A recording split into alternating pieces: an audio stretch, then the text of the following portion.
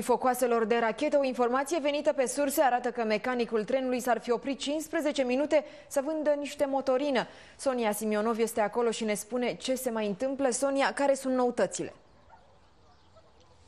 Într-adevăr, mecanicul se pare că s-ar fi oprit în gara Stănești 15 minute complet nejustificat, moment în care jandarmii nici măcar nu și-au făcut datoria pentru a se da jos din tren și a verifica această garnitură. Atunci se pare că el ar fi vândut undeva la 70 de litri de motorină ilegal, iar nimeni nu a intervenit în acest caz. Cu toate acestea, pe drum către uh, gara de Nord Giurgiu, aici unde ne aflăm noi, există limite de viteză între 2 și 5 km, ceea ce face posibil ca oricine să se fi urcat în tren chiar în acel moment și să poată să fure focoasele.